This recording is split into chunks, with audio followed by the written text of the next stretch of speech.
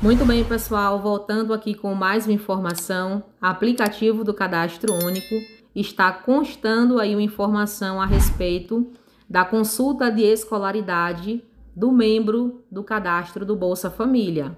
Então aqui apresenta a seguinte informação: atualização automática de escolaridade não identificada para o integrante familiar.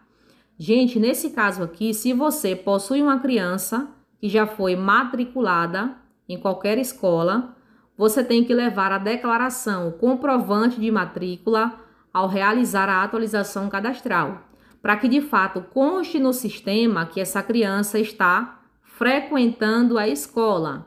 Então, para que essa informação venha assumir aqui do seu aplicativo, se você já matriculou sua criança, compareça até o CRAS, leve ali o comprovante de matrícula, o comprovante, né, que você realmente matriculou sua criança e em até 30 dias no máximo vai ser notificado no sistema aqui do cadastro único que o beneficiário, né, que a criança já consta como matriculada.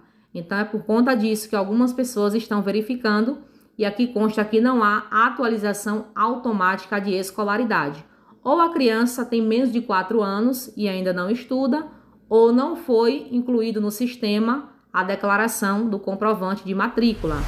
Então é isso, eu vou ficando por aqui, se inscreva em nosso canal. Qualquer dúvida que você tiver, registre aqui abaixo no campo dos comentários. Até a próxima e fiquem com Deus.